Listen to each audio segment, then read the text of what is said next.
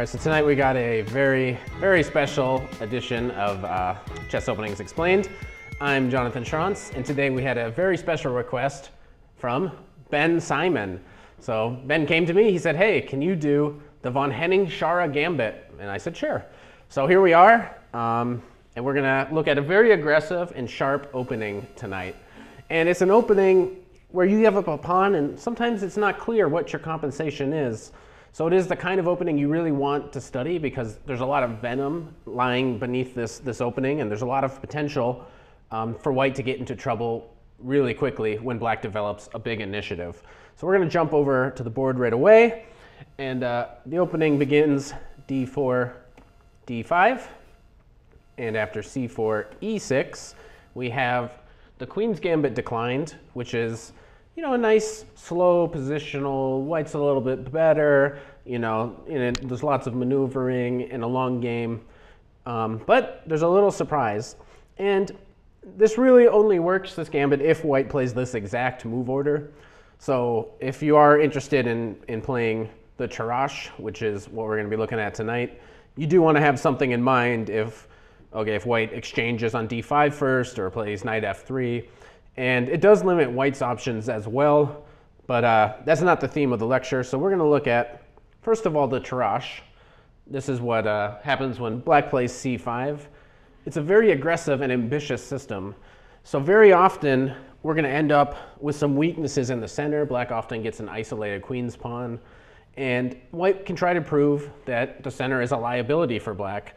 Um, it's, it's really an ambitious way for black to play. And just to show the main line, just so we can compare it, we won't go too deep into it. Um, so normally they take on d5. This is the main move. And typically white plays the Rubinstein variation. Um, we'll just put this on the board. He fianchettos his bishop. Uh, and after some moves, we get a position like this. So this would be like the start of the main line for this system. And White hopes to target this d pawn, so at any moment he can play d takes c5, and he has lots and lots of things aiming at d5, and the bishop can come to g5 and remove one of the defenders. Um, so that's what typically happens. So when you play the Tarrasch, perhaps white is thinking, I'm going to get this position, um, and you're going to play some very positional opening. And it, it, the Tarrasch is a very interesting one, so hopefully we have time at some point to come back and have a good look at it. But tonight we're going to focus on a very interesting gambit. So after they take on d5, instead of recapturing on d5, we're going to take on d4.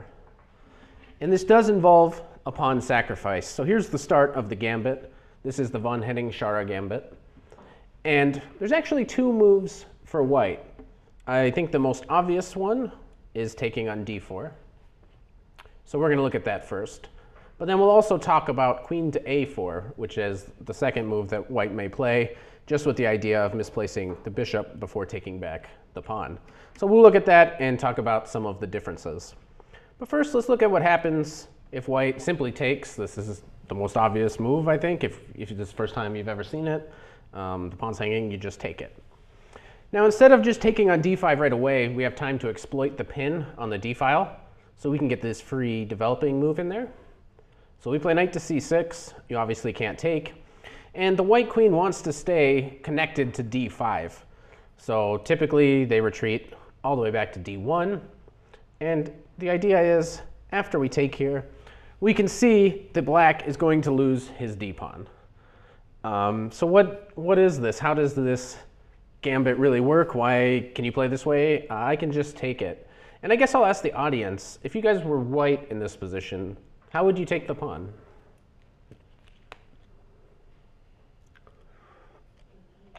With the knight, okay. And the main move is to take with the queen. But let's have a good look at this. So I'm glad somebody said it. Um, so in this position, black already can be better. And it's, it comes surprisingly quickly how he can become better with the move knight to f6. Okay, so I'm attacking your knight. There's maybe some couple different moves you can consider, but let's just examine what happens if we trade. Okay, you're up a pawn after all, so trading seems to make a lot of sense.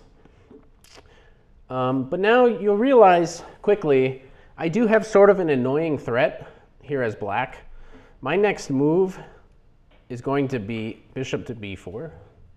For example, um, if you just play knight f3, which might be fine, I'm going to throw this check in, and this is going to be kind of annoying for you. First of all, if you play here, you are undefending your b pawn. So I can consider castling, or I can simply just take on b2. I get my pawn back. And okay, obviously there's, there's lots of complications here, but um, this should be very decent for black. So there's no reason for white to give the pawn back. And if knight here, well, uh, you just you just have a very bad position. And in fact, after bishop to f5, white might already even be losing here. Just it's hard to believe. So if you just play a few moves, um, let's see, how does it work? There's something like this in 95. Yeah, I think the line goes something like this, and okay, the computer is just like I'm just winning somehow, and it just gives black monster numbers. Um, but it's just, even if you don't see the immediate like checkmate or whatever, you can just kind of tell that that's not what the knight wanted to do. That wasn't his, his dream job in life was just to go back.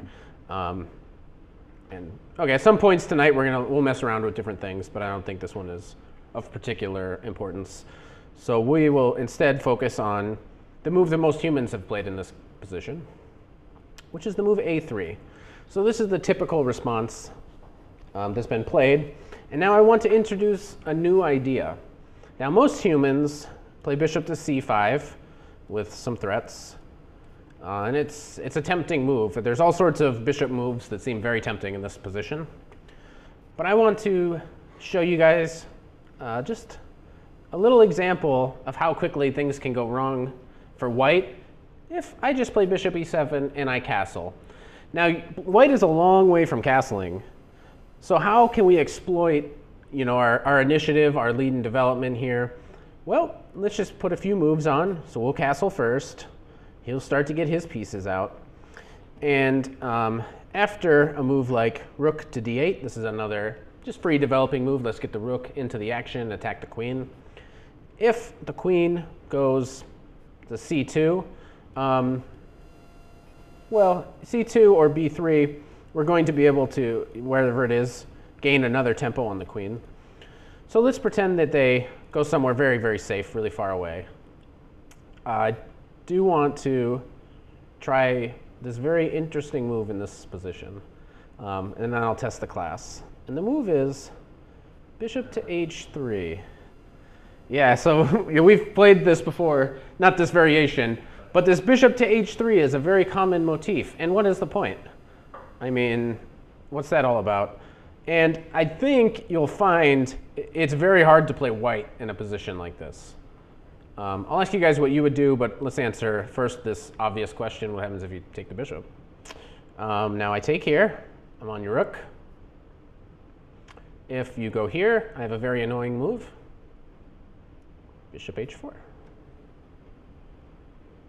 And okay, if you have to play a move like rook g3 or something, well, I'm going to take it and win the exchange, and your king is kind of stranded there. So uh, this is not exactly what you want to do. Um, let's also mention this, I suppose. You can have your pick. Do you want to mate with a queen or a rook? All right, checkmate.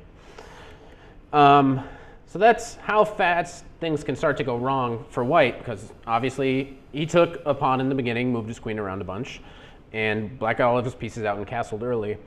But this is an interesting challenge. If you guys were white here, what would you play? Because I think you'll start to find it's, it's really hard to move any of your pieces. If you move your bishop, you're, eh. if you move your bishop, you're undefending your b, eh, your b pawn. If you move this bishop, you're losing your g pawn. How would you guys handle this as white? Because I also want to give you this idea that, um, so you can kind of feel what the white player would feel in a position like this. They can get really uncomfortable. And just having played this with a lot of members this week, I've noticed that a lot of people get really, really scared when they're facing these lines. Uh, I just know people are like, whoa, you know, some people even wouldn't even play me because they're like, these lines are too sharp and scary and I don't want to do it. So that's sort of the mentality that you can often impose your will upon your opponent because you're playing this really sharp, complicated opening and all right, they're like, they get kind of nervous and it's very easy to make mistakes. Um, they try to play a little too cautious or they play inaccurately and they can get punished right away. But uh, have you guys come up with a move here as white? Any, it's hard to even move. Rook b1 is like the only thing. I'm rook g1 rather. Rook g1. Okay. So this is actually um, a move that I've, I've looked at already. So you really didn't want to put your rook on g1. So this is an accomplishment for me. Even if I just retreat, I don't know, I can go here, I can go to e6, and then later try to control you know, some of the light squares over here. But even a move like this, now you're going to find it very hard to castle as white. So that's not a move you wanted to play. So you're up a pawn, but you know I don't I don't like the way some of your pieces are. so I don't know how you guys feel about it, but I, I really prefer black here. And you know, and again, if you have to make some silly move like that, then it's it's really black that's been taking control of the position. Um, but yeah, you can just already notice it's it's just really hard to move. White, in most of these lines, wants to keep the bishop on c1, at least until after he's castled, because the defense of this b pawn, we're going to see it more, is really important in a lot of variations. So, okay, this line has never been played, so we'll, we'll come off it for a minute, but I just wanted to give you that example um, of what you can possibly do if they take with their knight, which at club level might be a popular move because I've a lot of people at the chess club, they took with their knight this week. you know, that's what they decided to do. Um, in the database, you'll find that hardly anybody has ever done it, but it's still something that's good to know because, okay, at the club level, that's a move that people play. Okay, but instead, let's look at the main move here, which is to take with the queen. Now, if you play bishop to d7, you'll transpose into the later part of this lecture, the main line. Um, and when deciding, back in this position, after I take here, what to do, whether you're just going to take right away or if you're going to check and then take this way and triangulate. Um, one important thing is uh, the, the check move order, if you play queen a4 check, you're avoiding certain lines that uh, the black player can choose from. So in this position, we can go right back into the main line. We have that option. Uh, bishop d6 might also be possible. But it is also interesting to look at this line which is sort of an endgame variation. And it's kind of strange because when you're down a pawn, you don't often think, I want to just go right for this endgame. And if you look at different sources, they have mixed feelings about this position. Some people think this is just fine for black. Some people think, well, this is you shouldn't play this way at all. You should avoid it. So we'll have a look at it, and we'll give you guys a, a chance to decide for yourselves.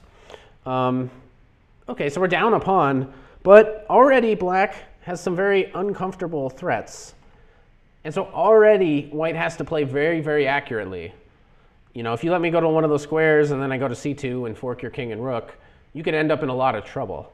And uh, I think, too, I, I really do want to challenge the class just to give you an idea of how tough it can be to play the white side of this position. If you guys were white, how would you handle this position? There's, there's a lot of ways you can go wrong here, so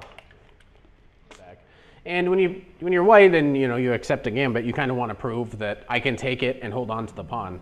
That's that's the whole point. you have to say your gambit is unsound. I'll just take it, hold on to it, and it is sort of a theoretical class. So we do, at least in this class, care about trying to achieve a you know theoretical advantage from the opening. Uh, some people like to play practically and play stuff that you know doesn't give you any advantage, and then you try to play that position. That's another approach to chess, but we want to play the the most precise move here and try to prove an advantage as white. Right. You can't stop me from going to both squares. You can only stop me from going to one. Choose wisely.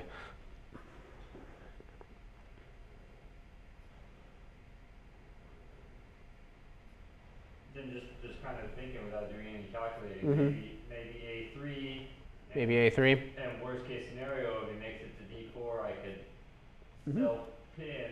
I don't know. No, the self. What, what are we going to do? You're going to run your king over here? I'm gonna run my king. Is that what you're going to do? I'm thinking about it. Or I guess which square did you want to go to? I'll let you. Um, Will you pick? Pick your poison. Right. Uh, Yeah, you really want to walk into that? no, not really. I'm just at a loss for for for. Yeah, so this is actually after a3 already losing. I mean, okay, you can't walk into the pin because if you go to the light square, I can check you, you know, if your king goes here, and then you know, I can drop it in. Also, I could just check and, and go here. So, yeah, you, you can't do that, which leaves you kind of limited as to your choices because Well, I'm just forking you. Right, and then I just fork you. Um, and that wins for black. So yeah, you're already losing. And this can be a massive point scorer at the club level because, you know, A3 is just so natural, but if you just keep doing this, it doesn't matter where you go. Um, I've already checked this, so I just kind of knew that this was the move. Um, you do this and check and take the rook and ah, ah, eek, ah. You know, you have to, you have to go here and this, and then I take all your stuff. Ah, okay. Um, so yeah, I mean, if somebody's never seen this before and they're thinking, why'd you go into endgame? I'm up a pawn. It's very easy to go wrong in A3, just already game over. So that being said, the main move here is E3. And the point is kind of funny. Um, now, uh, there's different things that black can do, and you can you know, you can do do other things. But let's look at this very entertaining variation. So knight to b4. Okay, obviously I'm jumping into c2 again. But now we'll see the difference with the move e3. White now has, well, only one move. Um, you can pause at home. I'm going to give it away for the live audience. The only move white has here, bishop b5 check. And this is sort of disruptive. I don't want to drop my knight back. I don't want to go. Oh, I don't want to go and trade. Um, so I don't want to move my pieces back. So I'll have a little bit of guts. I'll play King E7, and this is the move. And now, White's best move here is again funny. So you may want to pause and see if you can play White's best move, because again, you know, White kind of has to know this, or sometimes it's hard to find a move like this. But the main move, King F1. Now you're not going to fork me. So look at this, already a very crazy variation. Both kings have moved to seemingly random positions. Um, and, you know, so it's already sort of an amazing position. You don't see this every day. and we'll give you just a, a little more insight into what might possibly happen if this variation should occur. Okay, let's just develop our knights. That makes sense. And already, um, we'll see sort of some tactical continuation here. First, I'll play knight to c2. Okay, force you over. I'm just controlling e1 with my knight. And now a tactical move. Knight to d4. And, okay, most people here have played bishop to e2, controlling, you know, some of these squares, especially d1. And play might continue like, like this. Um, you, can, you can see an example like this. So this might, you might get a lot of pressure here for your pawn. So this is probably fine for black. Um, I mean, I don't know. I assume white's better because that's how chess works. No matter what, white's always a little bit better in the opening. But okay, this is playable for black. So this is sort of the position that you might want to take a look at. But what I think is, is rather humorous about this position, um, if we go back to this position here, is that white can fall for the trap of taking this knight and allowing white to drop his rook all the way back to d1. So even taking this is fine. Uh, so I just want to show this mostly because it's amusing, at least to me. Okay, so we go here. Take the rook. Knight g3, and the rook is trapped. Okay, I take here, and your rook is trapped. All right, you take me, I take you. Bishop d3. And it looks like white is simply playing king d2 and then capturing this piece. Now there's a very, very crafty plan for black. Very crafty. I'm going to play this move g6. We'll, we'll understand. now your best move is probably to go here. We'll look at this. We'll come. We'll come right back. We'll look at king d2. So this was probably your best move. I take here. You take here. And then also what's funny is the computer wants you to just stay in the center because that's what the computer cares about. You could also take here. But it's funny, the computer move is, yeah, just go to the center. But I think against a human, I'd probably take the pawn. But okay, so here, and the computer's like equal, equal, equal. All right, good job. You equalized with black in a very complicated variation.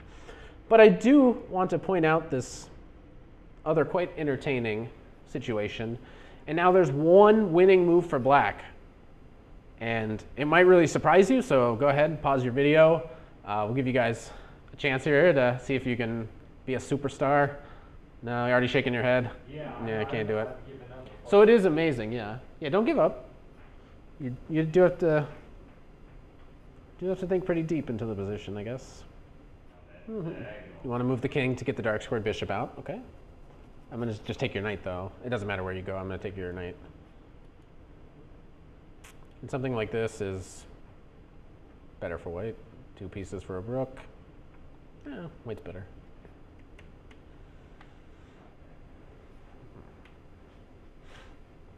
So it's amazing. So I'm going to give it away for the live audience. Uh, the amazing winning move here Bishop h6. Doesn't make any sense. Okay, doesn't make any sense. Why would this pin mean anything? Well, okay. So if you take, check. And you can move your king away and then I take your bishop. Though surprisingly, you also can play this move that at first just looks like a blunder, but it might be your best move. Um, here. And now, some people, a lot of people I've showed this to, they can't find this move.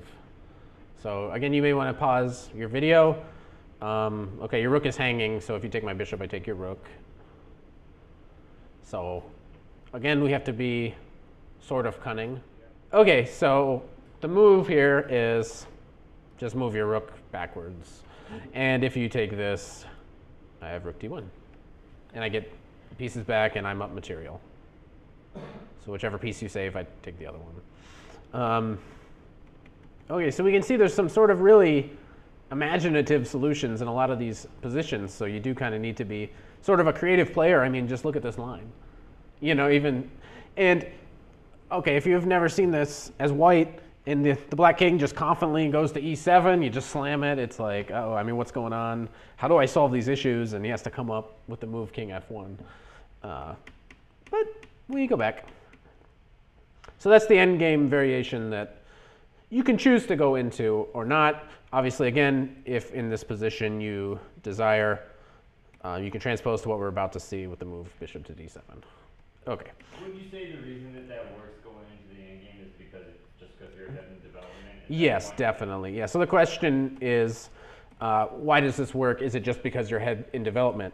And certainly it is. And you already have a threat. So it's going to be black that has threats really early on. It's move eight, and already, you know, our knight is going to one of these places, and you have to be able to figure this out as white and play very accurately. So, okay, this again can be a, a big point scorer in your, your tournaments if people just mess up immediately. Um, so here we go. Okay, they take on d4. And we'll look at what most consider the more accurate line, although if white wants to go into the endgame variation, he can play that other way. Um, so now, okay, I have to put my bishop in the way. So now when you take my pawn, I don't have knight c6, gaining a tempo, and okay, probably knight c6 is a better move for me than bishop to d7. So, okay, I take here. White takes back. Again, we're down a pawn. Um, so I'm thinking maybe maybe for tomorrow's lecture, eh, we could do it now. Maybe we'll do it now. Yeah. Um, okay, the main move here, you're on our b pawn, knight c6. But uh, a rare move, and it kind of keeps with the theme of the opening. I don't think it's a particularly good move, but refuting it can be hard. Is this move knight to f6? uh, offering the b pawn, which most humans don't take, but is probably the critical line. I don't know why people don't take it. And this would transpose to what we're going to see if after this we play knight to c6, then we're going to get the main line again. Um, yeah, do we want to do this today or tomorrow? Maybe tomorrow. Go, go prepare this, and I'll play either side you want tomorrow. Yeah. Um, tonight we're just going to focus here. We're going to try to get closer to the main line. So knight to c6, okay, shielding our b pawn. Knight f6 comes next. We develop with tempo, and hopefully we can get our pieces out a lot faster than our opponents and, and crush them immediately. Now the most popular move, hey Aaron, come on in, is perhaps the most natural move, knight f3, just develop your, your piece. Uh, e3 is likely to transpose if that's what white decides to play in this position. But I do want to show one game with the move bishop to g5. And this is a sort of famous game, Vasja Pirc versus Alexander Alekhine. It was played in 1931. So we will check out this game. And okay, again, we see that this bishop to g5 move usually is not to be recommended for white. Um, sometimes, imagine that, that white queen is out of the way. Um, sometimes it's because we put our, our bishop here and then our queen here and we attack two things. So that sometimes is the reason. Um, and sometimes, as we'll see, if there's ever a knight here and you take it and I take back, we saw kind of in that other variation that it's really important to protect that b pawn. So in general, that's not the way white should set up. You should play knight f3, e3, and then you should go castle. Um, but okay, how could this, seems pretty good. So knight d6 was played, and the queen went back to d2. h6, do you want to give me your bishop? And so sort of a controversial decision already. White parts with his bishop. Okay, we take back. And white says simply, I'm up a pawn. We traded a piece. Um, but this can actually be quite dangerous, and white goes wrong immediately in this game. So I got two bishops. I might even think of castling queenside, lining my rook up with your queen. That could help me gain more time. And in the game after e3, yeah, a castle. And we'll see in lots of lines, there's always a rook lined up with the queen. And then sometimes we are threatening discoveries. Um, and in this game, remarkably, white castled queenside, and already the game is over. So shockingly, white is already losing. Um, so I do want to give you guys the chance. Can you play like a world champion? Uh, can you play like Alekhine in this position? So go ahead, pause your videos, um, and, and, and then the little kid will figure it out while everybody else is scratching their head. Do you have a good discovered attack? Yeah. Yeah, so it looks like. Yeah, so it looks like yeah. If you just move, then okay, what a blunder! I just take this, and you're what you're. You're gonna take it with the rook. Oh, There's a knight. Yeah. Uh, okay, so even that might be good for black though. Uh, you can do even better. So white, okay, he saw that. He's you know even if you just see this, then okay, all right, I've already won some material, and you're still exposed, and my pieces are pretty good. Um, but White had a, an idea in mind. His idea was, okay, when you attack my rook, I play knight d5. Okay, so it's getting complicated. Yeah, it's, I mean, it's already a very complicated position. And that's what you're going to get when you play this opening. When you play this opening, you're going to get a complicated, messy position. So it's good for beating lower rated players. It's good for surprising higher rated players. Uh, Okay, and it's also interesting too if you just the von Hennig gambit as a whole. If you check different sources, some will say it's refuted, it's super dubious. Some will say no, it's quite valid. It's you know there's no refutation. Um, so when there's a line like that and people are sort of undecided, maybe it's maybe it's unplayable, maybe it's not. That means at the club level, it's definitely playable. And you're gonna Queen D6. Yep. Okay. Um, I guess I'll not let you take my rook. I guess. Maybe knight f3 too, but maybe, yeah. You can do better.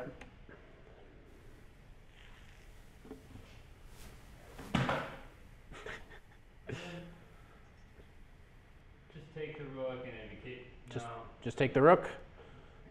Only What? Recapture the queen, but you're gonna be And then you're taking the queen. yes. Yeah. And then Either save the bishop or take the knight. Um, Mm-hmm. Yeah, so you can save your bishop, and I save my knight somewhere. I don't know. White's probably better, but it is kind of. It's probably easier to play black, but I don't know. I assume white is better here because I'm off a pawn. Yeah. yeah, yeah. it's actually, Um, so yeah, if you don't do something brilliant, then I'm up a pawn. So if we trade lots of stuff and I don't get checkmated and you don't win any material, then yay, I did it. so the amazing move played in this position, and again you can pause if you need a little bit more time. Rook takes d5. Just just give me it. Okay. Now, for another amazing move. And this is sort of the kind of move, it's, it's a theme we've seen a little bit, but it's going to be on the other side of the board. So, um, Black played another really surprising and powerful move in this position. And this is the, the true gem of the whole game. This is what makes this game so famous and so amazing, is this next move that, okay, presumably the opponent did not see this move, because this, man, it's a, it's a good move. Once you see it, bishop a3. Bishop a3. Excellent. Yeah, so I'm threatening mate. That's that's good. Uh, I'm gonna play rook d8. I'm gonna take your rook. I got all sorts of stuff. So he was not tempted to take in the game, which very smart. Now it's it's over. Check. If you go here, I'm gonna take all your stuff. Uh, okay, so if you go here, now I can take this. Check. You take this, I'll, or let me take all your stuff. Let me take all your stuff. Let me go here, and you're up a piece, um, but I know how to use my pieces better than you. So I'm gonna come in, I'm gonna use my pieces, and I should be able to, to win this game here as black. I mean, uh, okay. All right, so going back to this position. So he didn't take, which is, okay, very smart. All right, queen b3. I didn't get checkmated, yay. So he took the rook. Yeah. He took. Now instead of moving the bishop, which obviously is tempting, took on f2. You take my bishop, I take your bishop with check. All right, so he defended. All right, you're attacking my bishop. We'll get my bishop out. Um, and we'll go a little bit quickly through this game. Check. I do not want to trade queens with you because I want to checkmate you. Uh, but here again, we'll pause because, okay, another really powerful move was played here by black. So I do want to give you guys a time um, to look at this, this position as well. You'll have to tell me what time it is because I don't, I don't have any idea. You made me turn my cell phone off so that the aliens don't hear me. So what, what, yeah, what time is it? 7-Eleven? All right.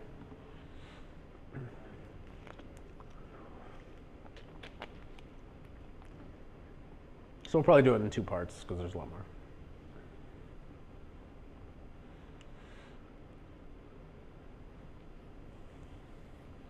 I just want to check on b4, but I, I feel that it's probably something stronger. You want to check on b4.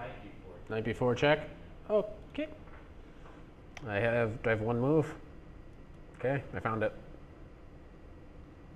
Uh, I'm assume you're better, but what, what's your move now? Am I, am I supposed to be scared? No, yeah, I probably, I mean, in the, in the game, I would have to probably defend the knight or, or retreat it, probably, yeah, a, a5, but this is not the line. Um, Five, wow. I mean, ah, what's funny? Yeah, it works, I think. Here, I'm gonna do to you what you did to me. You ready for this? Right, I hope so. I hope it works, because I'm gonna do it to you. You ready? Ready. Haha. Haha! right back at you. All right. All right, I threaten mate and your queen. Hooray! Now don't do something I didn't see, because I'm a genius. If you don't refute me. Take what? on a six with the knight. Let's take with the knight. Oh, Well, and then lose the queen. So, alright. Yay! Go me until the internet puts it on their computer and refutes me. Um,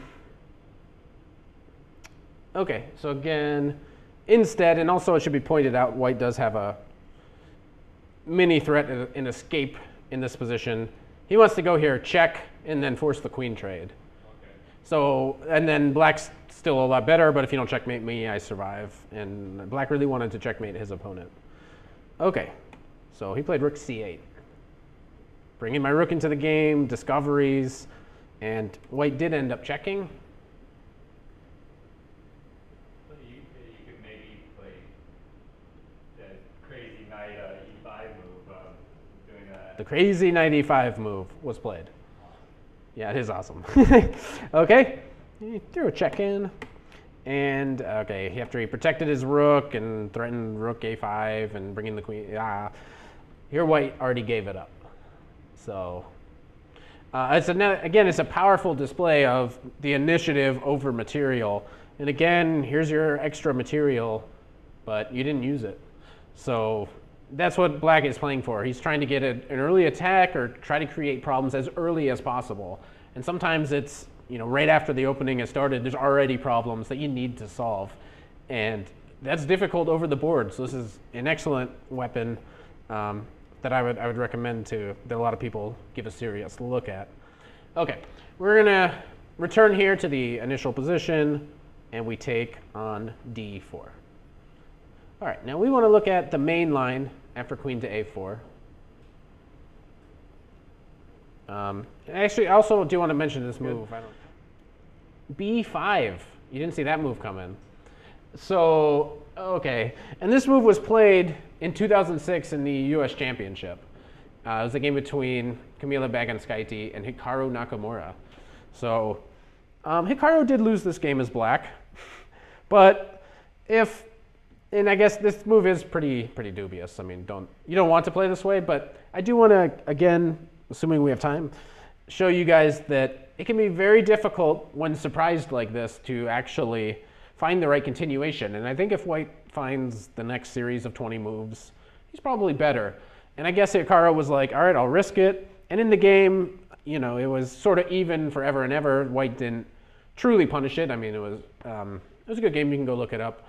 Um, but you know, he's risking. All right, I might be worse against a lower-rated opponent, and then hopefully I can outplay her from that position. But what would you guys do here? I mean, this already is is complicated. I'd like to just see what you guys would do, just so that you you can put yourself in the mind of the white player when totally surprised. Is b5? Ah. I mean, I don't even understand the point. I just want to. okay. Doesn't understand the point. Yeah. What do you want to take? D4. Take on d4. Okay, this certainly makes a lot of sense. Okay, now again, I exploit the pin. All right, well, you can go back. Now I take here. And here's where you can mess up. Yay. We'll give you the chance to mess up. You can do it. Well, yeah, I'll take on D5 with the queen. We'll take on d5 with the queen. Yep. All right.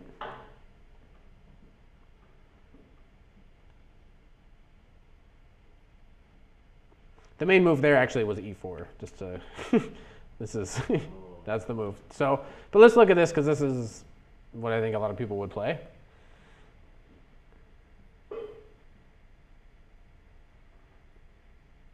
And it's not so important. I just wanted to hopefully get the initiative here. Otherwise, you'll have to cut so much of this out. When they outplay me and beat me, then it'll look bad on the internet. Especially if Aaron outplays me from this position uh, pitch in here, it might have been so quiet. And then take with the uh, knight on D5. Right? Okay, yep, that's the move. Uh huh. I think it's here, or is it knight of maybe knight of six first? All right, knight of six. Yeah, I think it's here, and then yeah, I think it's something like this. Let's see if we can remember the line. Um, and I go here. I think this is the line. So there's stuff like this, and okay, I don't think that this should really work out um, for you, even if you take this way. So, all right, I'm, I'm not trying to say b5 is a good move or you should play it or anything. Yeah, so this is probably the simplest way to get an advantage. So I, I do like the way you guys played after that. In the game, she went here, which is a, a bit more theoretical. So it's also should be fine. And you're threatening some double checks. Uh, so you have to play here. And now let's move d6. So it forces us really to take the knight. I can't let you fork me. And I block. And okay, in the game, there was a very interesting position. Um, we're not going to go much farther than this. But again, you, you can see that this is sort of the way that black you know chose to set up. And it was probably already equal here, so maybe there was some play that could have been better along the way. But I just want to point out this possibility. You can go explore it on your own if you want. This the super crazy radical b5. It's no good, but you know you startled them. You didn't see that coming. And that was the position that he got out of it. Yeah, so it's right after you check b5. All right, but we'll we'll play the normal move. Yeah. Actually, so I think actually I'm gonna, we're going to jump to the other game. Are. But this is the game between Irina Krush um, and Spyridon Kapnisis. We'll say that's it. We can't see the names, so we'll say that that's their names. Ben Simon will know. Um, and we'll get to this. Let's just check out this game real quick. All right. So check. We're looking at this variation. Let's play the normal way. We'll take knight c6. And we're going to look at the main move here, knight f3. So this is the main move, and white's plan is simple. I'm up a pawn, I develop, I castle. Okay, I get this free move. So when you go back, bishop c5. All right, taking aim at f2 maybe. Very active post for my bishop. White typically blunts him out. Now this move, queen e7. So I'm, I'm, not, I'm not telling you which way I'm going to castle. And very often, you do want to castle queenside, bring your rook to the d file. Uh, obviously, your queenside is a little bit loose as black, so it can easily backfire. But we're playing for the, the quick initiative. We got to make use of it right now. Right here, right now, we're going to use the initiative. And as soon as you play here, I'm going to castle. And I'm already threatening bishop to h3. So yeah, I mean, silly move, bishop h3. I'm on your queen and your g-pawn. Um, so you do have to be careful. So white normally defends his g-pawn by castling. And so here we get the start of the main line. And now we're going to see both sides, I mean it's opposite side castling, attack each other. So already another exciting move. g5, here I come. You want to take it? Um, if we had more time, we could look at it. And White maybe doesn't lose if he takes it. Maybe he doesn't lose, but it's close.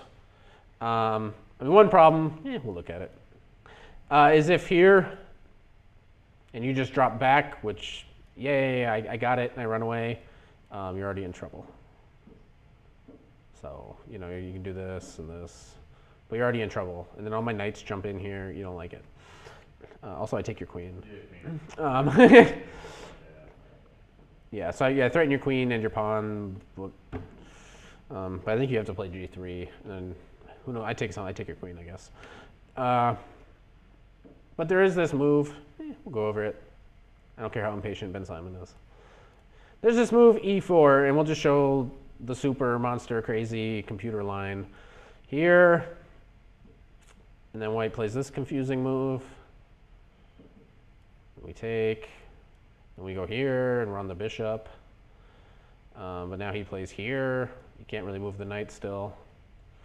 And white is threatening to go here. Like if here, which is the obvious move here. And then, you know, if you move, I'm taking this. And if you take back, I embarrass you. So the computer wants you to just take this. What's the big deal? And then this crazy, crazy line, eh, black's better. So white maybe doesn't lose if you take that g-pawn. but it's very, very scary. Hopefully, you, you can avoid the temptation. And among the other moves that white can play, the sharpest and most exciting, and perhaps the best, is to fight fire with fire. B4, doing the same exact thing. And probably black is just best advised to accept this gambit. And white is hoping I get to use the B file, my queen comes in, my knights jump in, and all this stuff happens to you, and I go like this with white, and then I win. That's what white is hoping for. So after the move b4, black is probably best to just accept this gambit. And now let's, let's see if white can get enough pressure here. Bishop b2 is the main move, but in the game, knight to b5, which also is a common idea. She'll, she'll put her bishop on b2 in just a second, or I guess he will put his bishop on b2. Um, so white is hoping I get some pressure here. And the knight is coming in. Um, it's, it's quite sharp. It's quite dangerous for both sides. Move h5 was played. And white went through with the plan we mentioned and just brought the queen in. So this is why you play this too. It's very sharp. It's very double-edged. Uh, both sides are going to attack each other. But in this position, you can play the move a6. And so basically, you're forced to take on c6 because if you just drop back, for example, we take here, I'm on your queen, and I'm on all your stuff. So basically, you have to take. But now what are you going to do? Your knight's in a pin. Well, he took on f6. And this is the, I guess, the last time we'll ask the audience what they would play in this position. Um, so again, you can pause at home. It's not taking on f6, you're guessing. All right, good guess, because otherwise, why did I ask you? Because um, here, and this is probably good for white because my attack is still going on. So instead, a nice move was played. After you took my knight, simply, queen e4, threatening mate. So white decided not to get mated. That was, that was good. So white parted with the pawn. And in this game, some mistakes were made, but it's still quite a, quite a nice game. Um, black took here, which probably isn't right. Uh, I think it's here. This is the move you should play. Um, maybe bishop c5. I don't know. Um, but after here, white took this. Black went here, which is actually a mistake, but for time, let's get through this game.